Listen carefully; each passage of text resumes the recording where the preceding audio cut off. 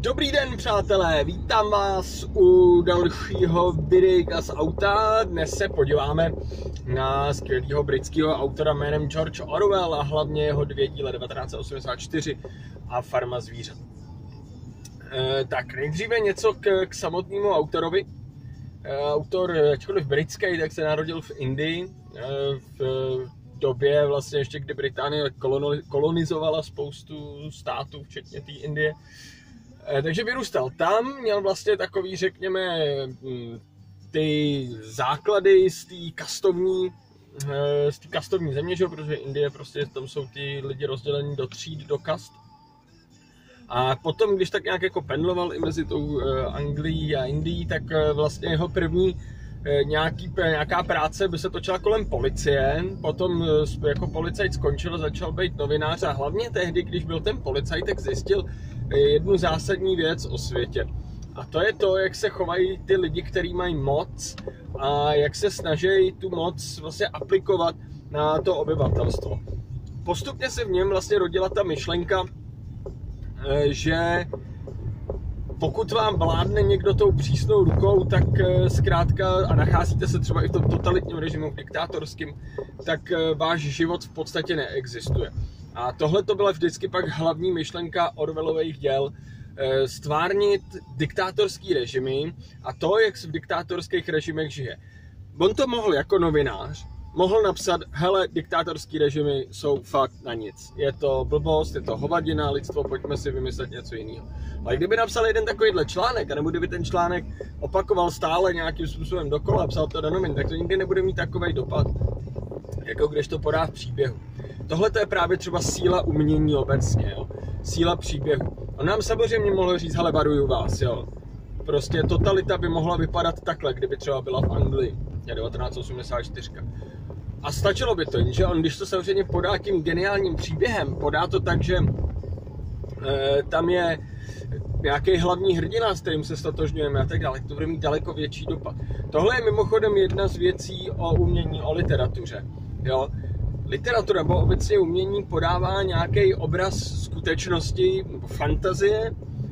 Může to podat naprosto jednoduše, vy když uvidíte sochu, která má stvárnit e, nějakého autora třeba, třeba teďka vezmu Orwella, bude tam Orwell, jak vypadal. On teda se nemenoval Orwell, e, bude tam pod tím napsáno, bude tam e, podle nějaký řeky pseudonym, myslím snad. Bude tam napsáno Blair, prostě takhle vypadal. Nazdar. Jo, že řeknete, OK, Orwellova socha, paráda tady, že jo. A nebo můžete tu sochu udělat tak, že tam bude pyramida s okem, což je ten znak, co si vymyslel Orwell. A bude tam nějaká zmínka o velkým bratrovi, což byl nějaká ten, ten velký mocný vládce toho světa 1984. No a vy se samozřejmě víc zamyslíte na tou druhou sochou, řeknete si, proč je to takhle, co mi tím chtěl říct, jasně, to se vlastně, ten sochař mi chtěl říct, že se to pojí nějak s tou, s tou knížkou. A literatura je psaná za několika účely. Vy můžete chtít pobavit, jako, napsal, jako psal Švejk. Vy můžete chtít něco říct o vnitřním světě svým, když píše někdo poezii. Vy můžete chtít říct něco o lásce, o lásce, která musí překonávat překážky, o nešťastný lásce, Romeo a Julie, o lásce na první pohled a tak dále. Ale když jste autor, tak to vždycky podáte tak, že kromě té funkce, varovací funkce k pobavení, funkce přesvědčovací, nevím, tak tam ještě přidáváte tu funkci estetickou. Chcete toho člověka ještě obohatit právě na poli citu, eh, na poli estetického vnímání, na poli krásy. Já nadarmo se asi literatuře, beletry říká někdy krásná literatura. Protože i když třeba popisujete něco ošklivého, jako svět v 1984, podáváte to jazykem knih. Tom je právě kouzlo té literatury, v tom je kouzlo naprostý, neuvěřitelný kouzlo kníže, že vám dokážou ty příběhy, ten vnitřní svět podat právě eh, pomocí tedy těch příběhů a pomocí té krásy. Zpátky k Orwellovi. Orwell, jak tak pozoroval svět, začal eh, jednoznačně inklinovat k politickému socialismu, zaměňovat všem jednoznačně s komunismem. On byl levicově založený, to znamená v podstatě spíše to, člověk, který je levicově založený socialista, tak prostě třeba říká, že by neměla být taková tíha zodpovědnosti za svůj život na jednotlivci a měl by eh, stát být schopný pomocí různých eh, technik spíš zajistit nějaký fungování komunitního, ale to je možná, pokud jste spíš kovaný v politologii, tak byste mi určitě tuhle definici trošku poopravili. No každopádně Orwell, ale co jednoznačně ho e, štvalo byly právě ty totalitní režimy. Totalitní režimy, s kterými se setkal svět v druhé světové válce, ať už nacismus, poté komunismus. V 1984 On vlastně to píše v roce 1948 a jenom si prohodil ten, ten letopočet, ačkoliv knížka byla vydaná až v roce 1949, protože to nestihl za ten rok napsat. Tak on vlastně říká, co by se stalo, kdyby nějaký ten totalitní režim, ať už stalinský, hitlerovský, eh, Polpota, který teda tehdy ještě nebyl, ale bude, se udál v Anglii, jak by to mohlo vypadat. On si vymyslel totalitní režim, kde je jakýsi velký bratr, který sleduje všechno, co děláme eh, a má k tomu spoustu nástrojů. Má pro mě děsivý nástroj, eh, dvojitou obrazovku, kterou, na který jede program, samozřejmě většinou s nějakýma propagandistickými programama, a zároveň ta televize vidí vás. Mě zajímavá vlastně jedna z těch prvních scén, kdy ten hlavní hrdina Winston Smith má zúčastnit toho celonárodního cvičení, který je vysílaný z té televize a zároveň ta televize vás vidí, on nějak jako se tam zamyslí, myslím, nebo něco. A no, ho upozorní ta televize, že pane Smith, vy byste měl cvičit. Jo, to je trošku děsivý. Na druhou stranu, tam, kde se nacházíme my teď ve světě, stačí si jednou kliknout na to, že máte chutně na pomeranče, dáte si do Google pomeranče a už vám skáče všude samá reklama na tohle ovoce, takže prostě o nás se taky toho ví spousty. A je občas až děsivý, co eh, vlastně Orwell předpověděl v té 1984, co se nějakým v našem světě ukazuje. Eh, slyšel nebo četl jsem jeden dobrý komentář, kde bylo napsáno 1984 bylo varování, ne návod. Jo, takže co dalšího tam je? Jsou tam různý ministerstva, které mají vlastně názvy oxymoronický, protože ministerstvo pravdy, na kterým pracuje Winston Smith, eh, se zabývá eh, přeměňováním historie podle toho, jak se to zrovna tomu národu hodí, který neustále střídá ostatní území, s kterými jsou ve válce, tak vždycky, když s tím, kteří jsou ve válce, se zpřátelé a jdou společně válčit proti někomu jinému, tak Winston Smith a další mají za úkol sfalšovat noviny aby si lidstvo myslelo, nebo ten národ si myslel, že vždycky jsme přece byli ve válce s těmahle. To jestli si myslíte, že jsme byli s někým jiným, tak to je nesmysl, že se podívejte do novin. Ty noviny už jako budou, už jsou předělaný. Ministerstvo lásky, eh, v ministerstvu lásky se mučí eh, všechny ty, kteří mají nějaký odpor vůči straně. Eh, celý ten celý ten svět je nám popisovaný skrz uh, něco ilegálního, co Winston Smith dělá. Se píše deník, což se nesmí, protože deník znamená intimitu, liričnost, přemýšlení. A to nic takového nikdy žádný totalitní režim nechce. Totalitní režim nechce, abyste byli sami a abyste přemýšleli.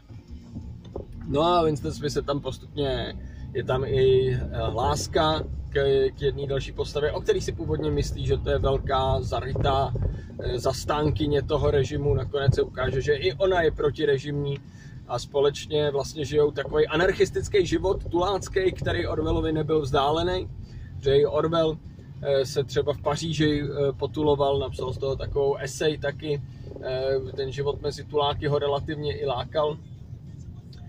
Takže ono, tutulácký život tak, jak to jde v tom totalitním režimu, ale taky prostě přespávají v nějakých jako tajných podkrovních místech nějakých dalších protirežimních lidí, e, milujou se spolu, e, i fyzickou lásku, která je zakázána, že láska fyzická je tam pouze za účelem reprodukce, jo? takže e, pak tam jsou takové děsivé věci, jak jsou vlastně děti vychovávané v tomhle režimu.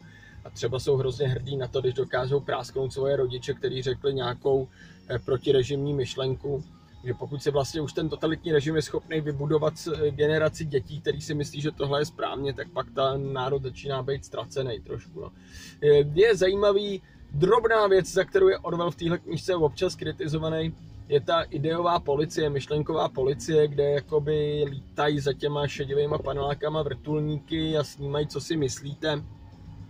Že už je to takový jako trošku zbytečně přehnaný, možná, možná jo, no. Já tam v tom vidím trošku narážku třeba i na křesťanství, že jo, ve který můžete zhřešit myšlenkou, tak je, to, je, to je těžký nezhřešit, že jo, prostě.